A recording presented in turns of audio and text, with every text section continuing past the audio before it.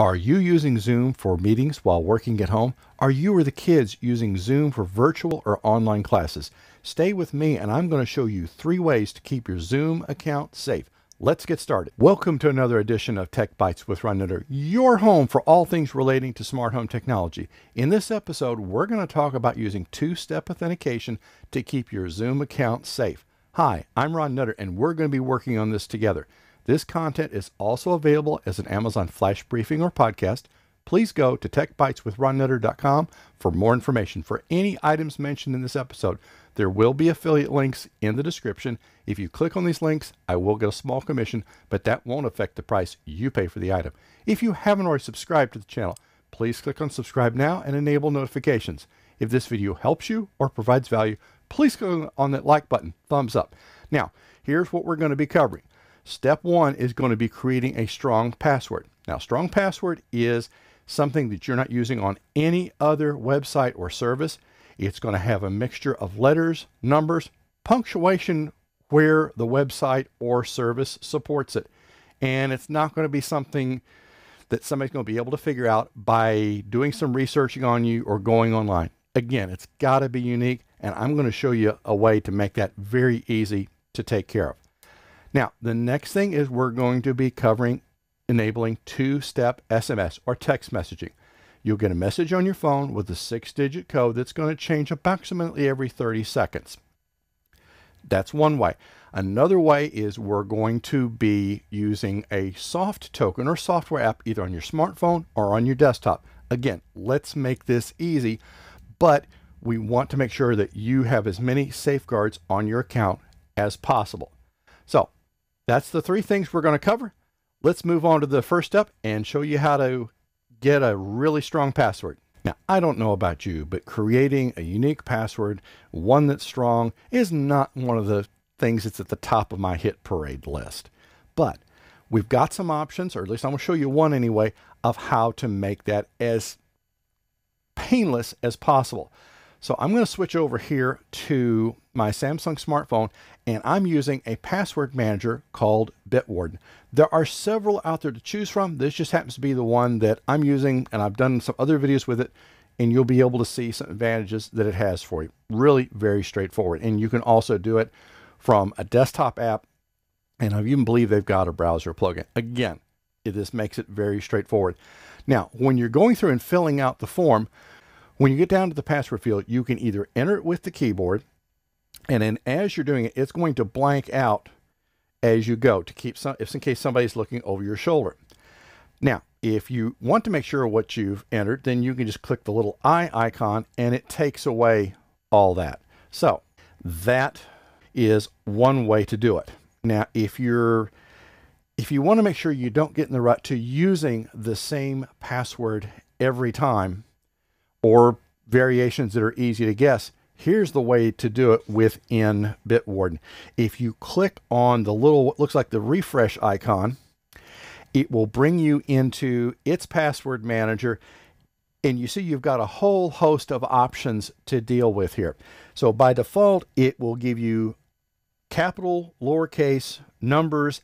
Now, the reason that this fourth option, and you will see some websites or services call it special characters. Well, I disagree. That's punctuation for the most part. Now, if you have a website and that will support punctuation, special characters, whatever you want to call it, then by all means turn that on because that's adding a layer of complexity to it. Now, you're going to hear the process of guessing passwords. You may hear the term dictionary attack.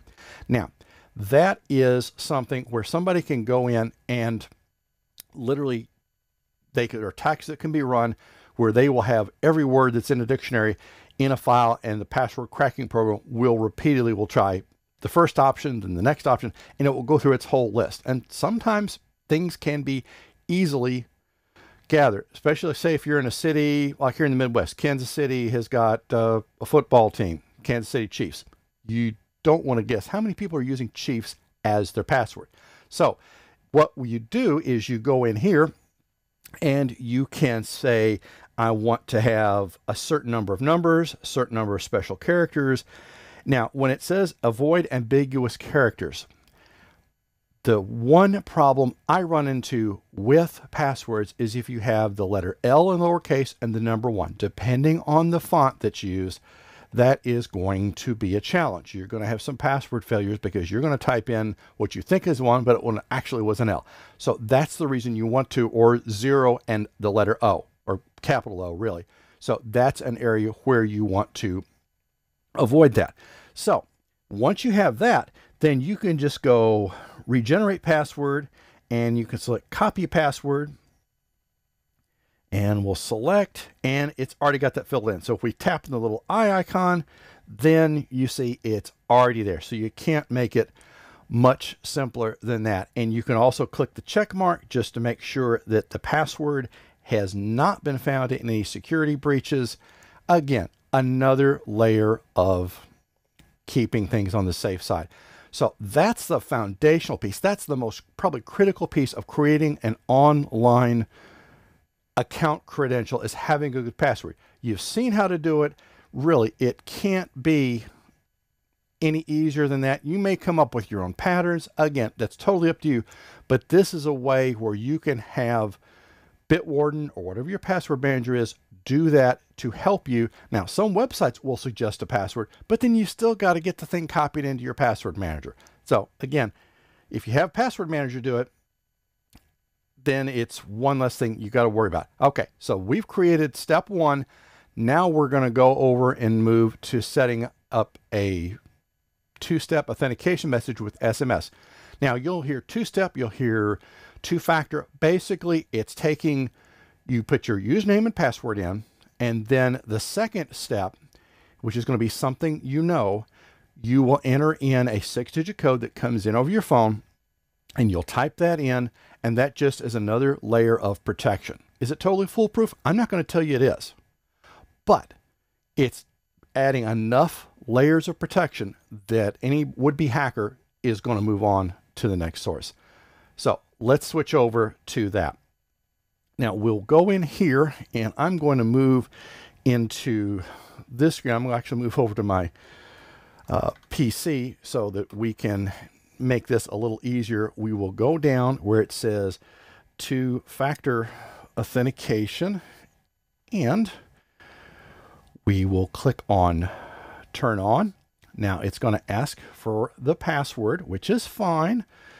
And we will click that because I've already got stored. And again, storing password, generally not a good thing unless it's a computer you have sole control over and it's stored protective because this is at this is taking away the very protection that you're putting in. So we'll click on next. So we've got two different options. We're going to go with SMS first. So we'll click on setup Okay, one more try here. Apparently I did hit the dash and didn't realize it. So if we enter in the phone number and no dashes, and that's what it was complaining about. And we will click on send code. Okay, now we'll click send code. And we should get a message. And let's switch over to the screen here so you can see the last one I got was, and see it's 094849. So we'll click on the first box here, 094849, and we'll click on verify. All right, so it took that. So we've got that set up. And this is something you, these are one-time use codes. Say for some reason your phone battery dies, you can't get into the password manager. These are codes you can use one time for each code, and these need to be somewhere where you can always get to them, or they really are not going to help you. So you can download, print it. So obviously you got to do one. So we will click download, and I will go get those later, and click done. And see, when, once you get down here, you will see you can always view the codes. So that is never uh, a problem in case you don't have them get, don't have them right at hand. All right, so now say you don't want to do that and you want to do SMS instead. So let's first we have to enter the password in to make that change. All right. Now we will go here And again, it's the password. This is probably the worst part of setting up two-step authentication is having to enter this again and again. But you know what? I can get over that one. Now, here is something to you'll need to stop and think about. Number one, if you've never set up two-step authentication before, you're going to want to get the QR code scan. Now, this QR code is unique to your account and take a picture with your smartphone, file it in Google Keep, whatever you're using from some sort of uh, saving system so where you can get back to this, whether it's OneNote, Evernote, just mainly is get it to where you can keep it. You can scan this with your smartphone. Or if you're not doing it from a smartphone and you are instead doing this with your desktop, you can click on use something other than QR code, and the secret key is what you will put in. So we're going to go back to scanning it with QR code, and I've got my app right up here, and let's make this change, and we will go back to my test accounts, and then we will go down here to Zoom, and I will edit And this is the screen that, that I'm actually seeing. I'm sorry, I should have shifted over to that earlier. And what I will do is I will tap on the camera, but if I do that and don't have the screen in place, then it's going to do weird things. Okay, now I've got that set up. And if we go back into here, and Bitwarden just closed on me, and we will go back in here, and then you will be able to see what we were going to look at and it didn't do it right. Okay, let's go back here. Uh, we will tap the little camera again. And okay, it captured it.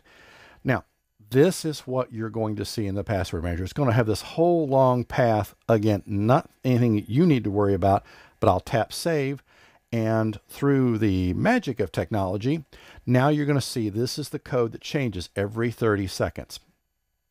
So now that we've got that, we can switch over to our desktop and let's click next and it's going to ask us to enter in the code to verify that everything's synced up right 034689 and we will click verify. Okay, it's happy. That's great. So you can possibly have both up at the same, both SMS and the authentication app again. So now it's going to send me another text message and we'll see right here. So it's 293-252. So 293-252 and verify. Okay, it's happy. So now this, as they say, is where the rubber is going to hit the road and we're going to test all this. So let's shift back and we'll give it another good old college try.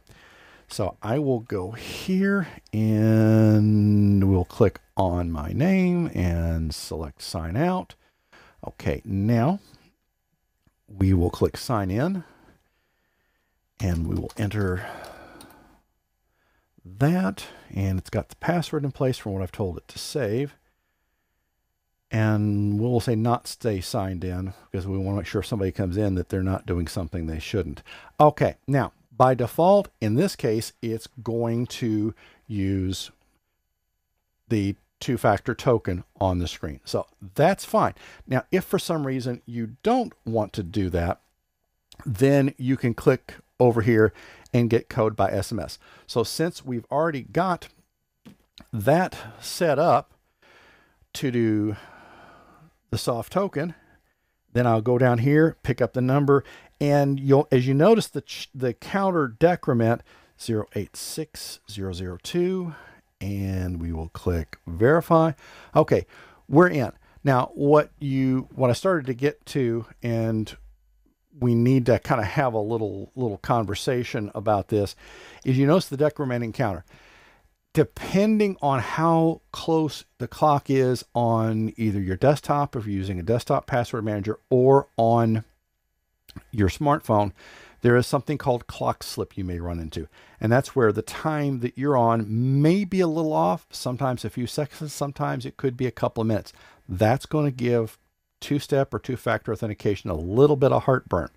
So, the rule of thumb I follow is when you are seeing the the counter when it gets down to about 3 I probably wouldn't use it or if it's, it hasn't gotten to about 28 probably wouldn't use it. This is going to be some experimentation that you're going to have to to go through to figure out what's going to be the best for you.